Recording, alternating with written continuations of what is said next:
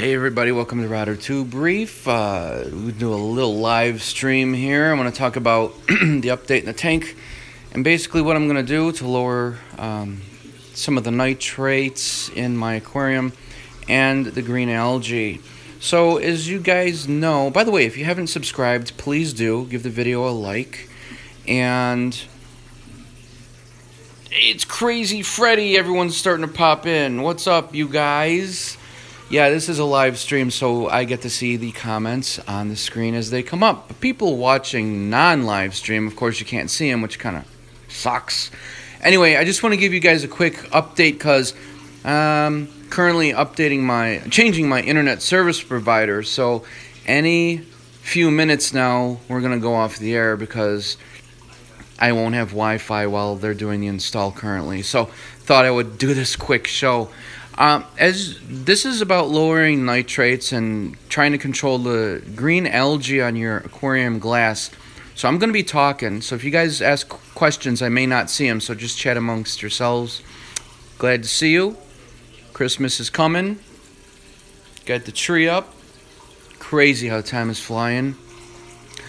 Don't forget to uh, check out the video description and all the videos to join the Facebook group, Rotter Tube Reef awesome, you guys. We're getting close to 300 subscribers, and people are posting daily on that with questions and videos and photos of their tanks. It's really awesome. So click on the link in the video description below to join that group. Thank you all for joining, and thank you so much for making the community totally awesome. I'm proud of it, and I'm happy that you guys want to be part of it.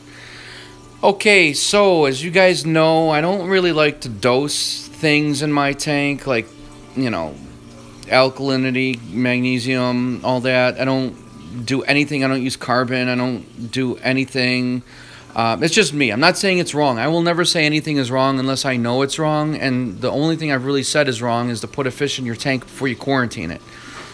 Um, and the whole ick thing, the ick parasite thing. But anyway, it's just me. I, I've got so much going on in life. I want to do as little as possible for tank maintenance. And I like to rely on Mother Nature um, and biology. Um, bacteria on the rock, as all you guys do, and in the sand, and it's on your glass, and it's everywhere. And that breaks down the fish urine and uneaten food. Another thing that'll break down those wastes is a cleanup crew like crabs and snails and all that good stuff. I don't have a cleanup crew. I've got two snails and that's it. I have no crabs. That sounds weird, doesn't it? Well, I don't have crabs in my tank either. So I stopped carrying those guys about two years ago. I just don't have them. They weren't doing too much for me. I wanted to see what it's like without it, and to be honest, not much too not too much difference. So what I wanted to talk today, and I'll do a more in-depth video, but my thought is, and it works, is uh, copepods. And copepods are those little tiny bugs that are very small that every reef keeper sees and they freak out about. What are those bugs on my? Oh, these guys are playing. What are these? What are these little bugs on my glass? They're very tiny, very very tiny. Like if you trim your fingernails, about a third the size of a fingernail would be the size of a large one. They're almost see-through little white bugs. You can see them crawling all over your rocks and your sand and your rock. And the more you have, the better. They're very beneficial to your aquarium and if you have a mandarin fish like I do, uh, he's in the back, but I can't. Can you guys see him? He always hides. That guy always hides when he's. I try to get him on video. Anyway, mandarins eat copepods, and if you don't have them in your tank, a good population, they will die. There, there he is. Oh, he's he swam away again. Okay, so Copepods will live everywhere. On your glass, they mainly come out at night, on the rocks, in the sand. If you look closely, you'll see them. They also live a lot on the glass. I have not seen any on this glass. What someone said, what kind of copepods do you have? Well, I'm going to answer that in a minute. Um, oh, Cliff just got a red mandarin. Awesome. So I had copepods all in this glass, all over here. And I have not seen any. I mean, I know they're still in there. You know where I've got thousands of them? In this rock here. In this rock. I put a flashlight in there, and they're all in there. They breed in here, which is great. My Mandarin I've had for close to two years. He's doing really well. But I need to populate this tank with more copepods for the Mandarin. But another great reason to have copepods in your tank is because they eat the detritus, which is fish waste and uneaten food and all the other microscopic stuff that swims in your tank. And then they breed, and that's fish for your mandarin. And the more they breed, the more of a little tiny cleanup crew you have. And people have raved about having a lot of copepods in their tank because they do an outstanding job. They also feed on the algae and anything that breaks down to start that process of algae. Hey, what's up, Bronx Reefer? I don't have my glasses on. Bronx Reefer, Brock. Um, so what I did is I placed an order, and I ordered through Algae Barn, and I love Algae Barn. Uh. I was working with one of the guys, Sean. He reached out to me. He saw the channel. He saw the tangs. He loves these guys. And uh, Sean, if you're watching, what's up? So he was kind enough to give me some food for the tangs. I think it's some kind of really um, high nutrient nori. I can't remember what he said in the email, but he said they're going to love it and they'll go crazy for it. So I ordered um, Copepods, a bag of 5,200 Copepods. And they've got a deal now where if you have not, I'm not getting paid to say this by the way, but if you have never ordered from them or you're a first time customer and you sign up, if you get the package, which comes with a bag of Copepods, I think it's like uh, $42. Sounds a little pricey, but they'll it's worth it. And then you get the um, plankton, phytoplankton to feed those copepods. They double your order, so you get another bag of them. So I've got 10,000 copepods coming with two bottles of the plankton to feed those copepods. Copepods will also, of course, like I said, feed on detritus and everything in your tank. So think of them as like a microscopic, tiny little cleanup crew, and they breed rapidly. Now, someone had asked what kind of copepods I got, and I'm not an expert with them by any means, but I know that there's one type of copepod that they don't breed rapidly, and they die out kind of quick. They act as food source for the mandarin, but there's two other types that come packaged with green uh, the algae barn guys. And that's algaebarn.com again by the way. And those thrive in your tank. They live a long time. They breed rapidly and they don't die out quickly i can't remember the name of them i'll have to look it up and put it in the comments and i'll put a link to what i ordered from algae barn as well so that order should be coming it's going to ship on monday should be getting here within two days because it's a live item. Uh, also, of course, there's no fish in their water, so you don't have to, you know, worry about ick or any parasites. You just put the copepods, just dump them right in. Now, when you dump in your copepods, when you're seeding your tank, you want to turn off your protein skimmers, and you want to do it at night with your lights off. Because if the fish see those little guys coming in, they're going to go nuts, and they're going to gobble them all up. When you get your order, you're going to see that the bag looks like it's just filled with water. If you look close enough, you'll see tons and tons of little red dots, about the size of like if you took a pencil and made a dot on your loose leaf paper. It's how small these guys are, but they do grow. Uh, and they breed rather quickly. You can also get copepods in your tank naturally if you buy live rock from your reef store or you get it from someone's tank. So copepods will show up in your tank, and as your tank matures, like I said, a lot of reefers will freak out and say, "Oh my God, there's bugs all over my rock. How do I get rid of these things?" It looks just like a bunch of tiny, microscopic, clear, see-through bugs, and scattering all over. I think someone said they accidentally killed their mandarin fish uh, the dragonet because they didn't have enough copepods in their tank. That's true. Mandarins, you know, people said that they eat frozen food. Uh, I don't see it with my guy. They will deplete your copepod population at a rapid rate. They can eat thousands of them a day. All they do is scavenge the rocks and they eat those things. So if you've got at least a 75 gallon tank, um, and you've got a lot of copepods, your mandarin will do well. They say one mandarin for every 125 ga- or one mandarin for every 75 gallons, preferably one mandarin fish for every 125 gallons to make sure there's enough population. My brother actually had a mandarin in his 28 gallon JBJ and it was fine. I was a little shocked, but he had enough copepods and he didn't even seed that tank with new copepods. I am going to seed this tank because I want to see them on the glass. I want to see them crawling around. I want to see a large population. Plus, I'm really anxious and excited to see what they do with this green algae issue, which is under control a lot more than it was.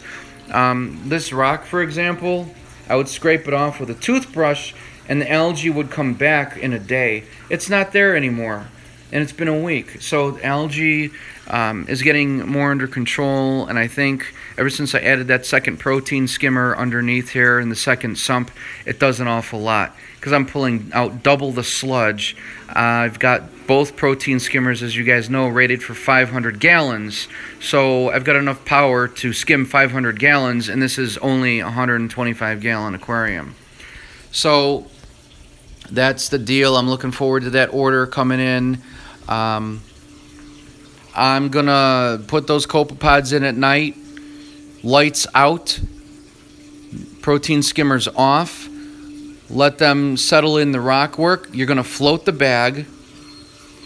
Then after I float the bag to get them used to the temperature, I'm gonna release them all. I'm gonna put all 1,000 in. It's oh, I'm 10,000.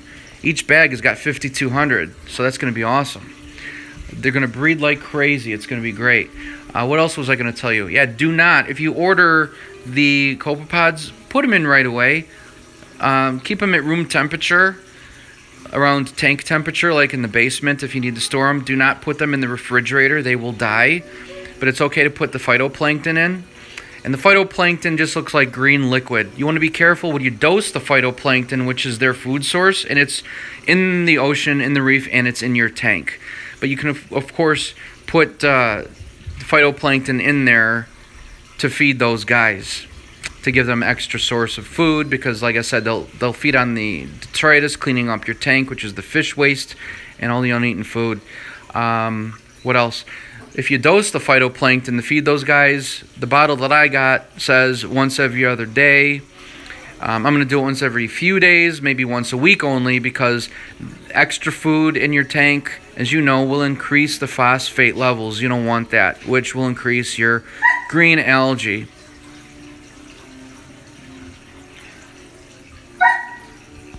Yes, I will put a link to where I ordered the copepods to Algae Barn, the phytoplankton and the copepods. I'll put a link for you guys after this, probably in the next hour. So check out the video description. I'm going to put a link. Leia, it's okay. I'm going to put a link to um, where I got the copepods and the phytoplankton. You can get phytoplankton from your local reef store. You don't have to go through Algae Barn, but I am. Another nice thing with Algae Barn that I took advantage of is if you order automatically. I have a two month ordering where I'm going to have, I think it's a little too often, but I'm going to try it. Every two months, I'll have an order of copepods, just a bag of 5,200, and the phytoplankton shipped to me from the algae barn. So every two months, I'll get an order up to, to reseed my tank and always have like a ton of copepods in here. Um, nice thing about that, I think they give you a discount if you do. Yeah, they do give you on the automatic shipment. You can do weekly, bi-weekly. The furthest out you can go is two months. So I selected the two months, um, and we'll see how that goes. But I have not added copepods to this in over a year, about a year and a half. And it's time because I've not seen any in here. When you can visibly see them, that's when you've got a lot. And I'm thinking the more you've got, the more algae is going to be eaten and the more fish waste is going to be eaten. So that's going to be my cleanup crew, and they're going to serve as a food source to the mandarin. Someone just posted something, I didn't see it. Hey Darren, what's up, dude? Just talking about Copepods. I got a Copepod order coming from Algae Barn. I absolutely love those guys. Customer service is outstanding. I'm not getting paid to say this. I just wanted to pass on what I'm doing, and that's that's my cleanup crew. I have two snails in this tank, and that's all I've got. Two snails. I got nothing else. Um, well, I got my fire shrimp.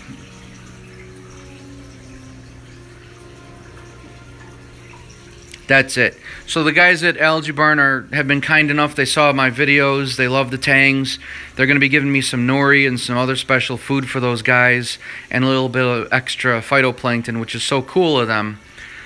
So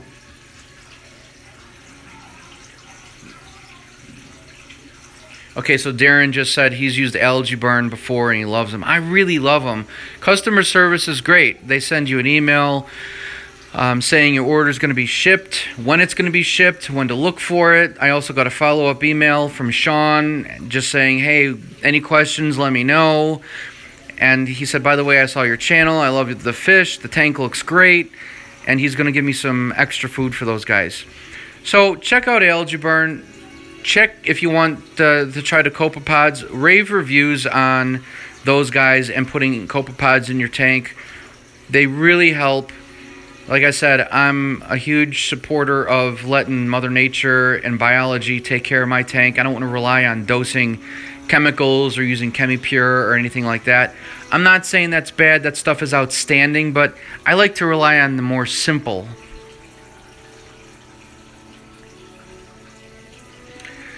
Adam just said his glass is covered with copepods. That's awesome. I haven't seen copepods in my tank. Um, yes, this company is in the USA, but I think they ship out of the United States too.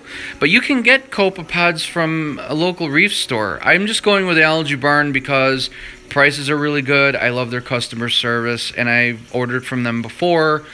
Um, I actually used them to seed this tank to build the population when I got my mandarin goby fish because I was a little nervous that his food source would run out.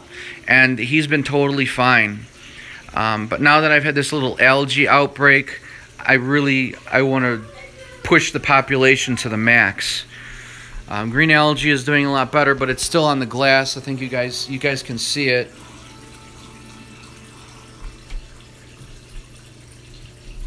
The green hair algae is still on the rocks a little bit, but it's only because I have not brushed it off with a toothbrush. Every area that I've brushed off with a toothbrush has stayed gone.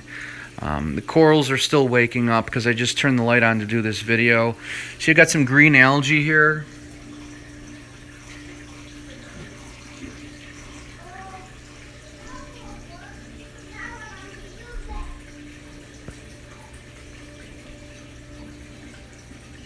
That's nasty. You don't want that in your tank. Algae turns into green algae. I got to get in there with a toothbrush and, and scrape that stuff off. It's really easy to come off. I can actually pull it off with my fingers.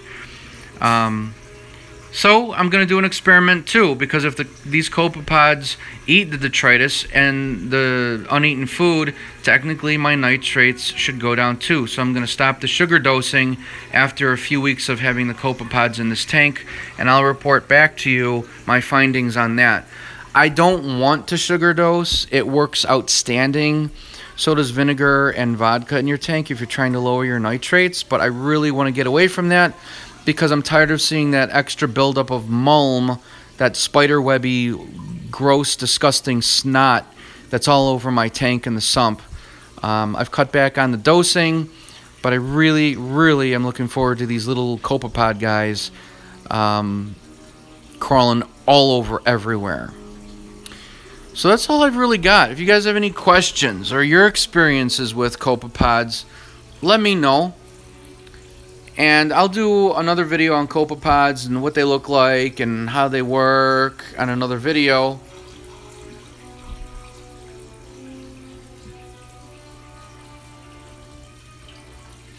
Yeah, Dave, that's right. Copepods will control their own population based on algae and food in the tank. So, um, if you just keep loading and loading and loading and loading and loading your tank with copepods, they will control their population based on the food source. So I do have a lot for them to eat. And I've got a Mandarin that needs to fatten up a little bit. Even though he's doing really well, I want to fatten that guy up a little bit. So they also serve as a food source to other fish too. Because tangs, you guys know tangs go around and they pick on the rocks. And they eat algae and they eat copepods too. They love them. Great food source for the fish. And great little cleanup crew. So that's that's kind of my plan. Um, there's the tank. It's doing well. I'm going to do my water change later on today. And uh, Merry Christmas to you too, Dave. We're going to do some more. I'm thinking about doing these live videos every Saturday or most Saturdays. I'd like to have a definite time so you you know you guys can you know look forward to it and know that it's coming out. But you know I do videos every Saturday, Saturday morning. Um, lately they've been like live chats because uh, I like talking with you guys and I like that you guys chat with each other, bring the community together. Hydro guy wishes he could have a tank this big. You can, man. I mean, that's what I thought. I started out in a, with a 28 gallon by JBJ, and I loved it so much. And then I, I'm like, damn, I want to get a, uh, a Tang. And I got a yellow Tang, put him in, and I, I really, I kind of busted the bank on getting a 75 gallon tank. It's like, man, what am I doing spending this kind of money? Because I don't have a lot of money at all. And I decided sorry i'm trying to read comments as they come through. I decided i'm just I, am gonna do it. I love the hobby. I'm gonna do it. So i got a 75 gallon and it was like wow this is awesome. Highly recommend the 75 gallon. But if you really if you like the hobby and you've got the room this is six feet wide i would really recommend a 125 gallon. Just spend a little more and get it 375 gallons is Darren's next build. Show off. I would love that. I would love to have like a 256 or 265 and then I'm kind of done. I was kind of thinking about being done with this cuz you you know, honestly you guys, I I love this tank. It's it's 6 feet long. If I get another tank, it's not going to be 6 feet. It's got to be 8 like Darren's old tank. Uh, but six feet is for the swim room. If I could get like a 300 gallon that's really tall, I would not have it if it's six feet long. Fish swim left to right, and I don't like tall tanks because it's a pain to clean them. I like this because it never gets higher than the elbow. When you're cleaning your tank, you can get down there. I like that. So I want to get an 8 foot tank. But to be honest, I'm really happy with this one and I would only get it so that the tangs have a little more room to swim. It would be like a, a foot out, a foot deeper, and two feet longer. That would be awesome for them. But I don't know if it's worth it. It's a lot of money. It's like two grand more. I don't want to spend that. I mean, it's not that much money, but it is a lot of money. So we'll see where it goes. Um, someone asked about what lights I have. Thanks, Darren your tank was killer. I lo- I missed that eight gallon tank. Um, I got this on Amazon where I get most things. An Agrobrite light. It's used in greenhouses. I got the bulbs from Bulk Reef Supply, the ATI bulbs. I think this was like $120 or something like that. And I got the lights from Bulk Reef Supply. You replace them once a year. I think they're like $18 a bulb. $15 a bulb. Not bad. You do it once a year. I'm not going to do it in January. I'll do it in the summer. And I got these mesh screens. It allows a lot of light in. I got these from Bulk Reef Supply, and they're very light. You can take them off easily. I really love these.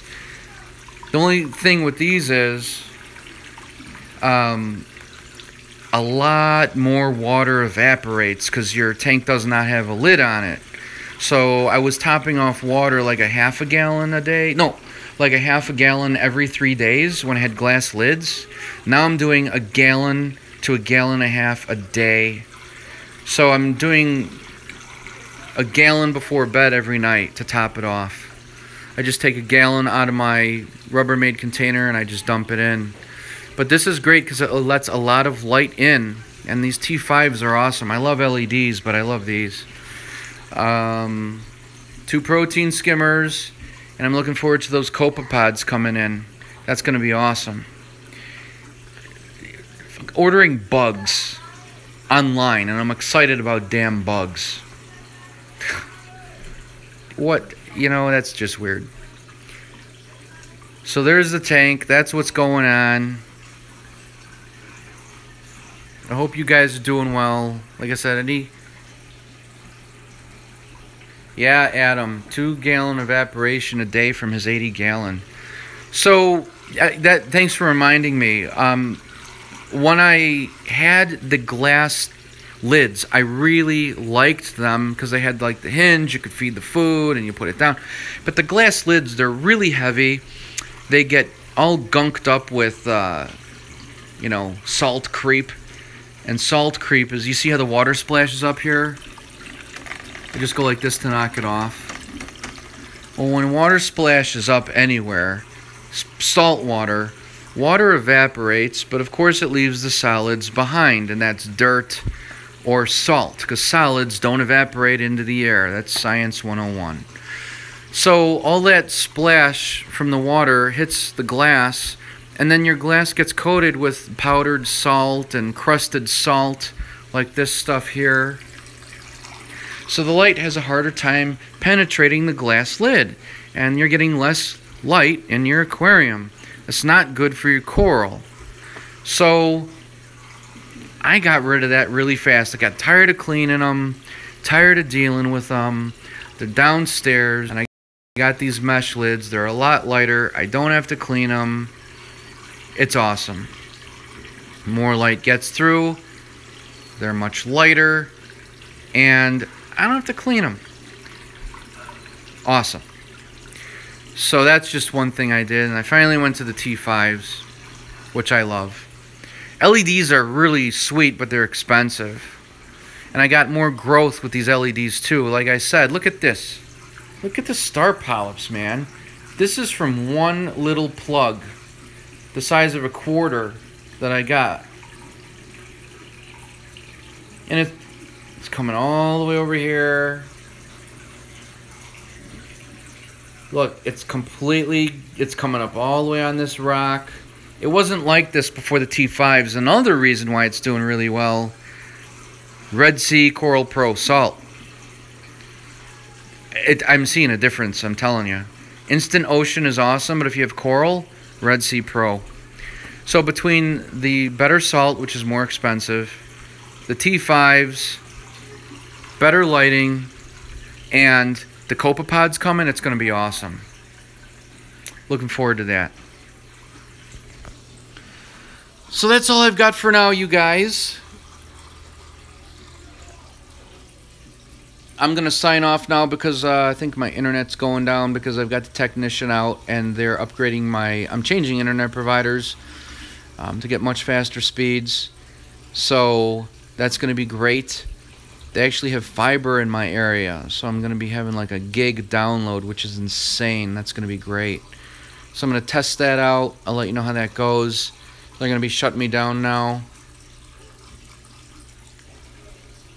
And um, I'm going to put a link to the things I talked about in this video. Also, don't forget to join the Facebook group if you have not already.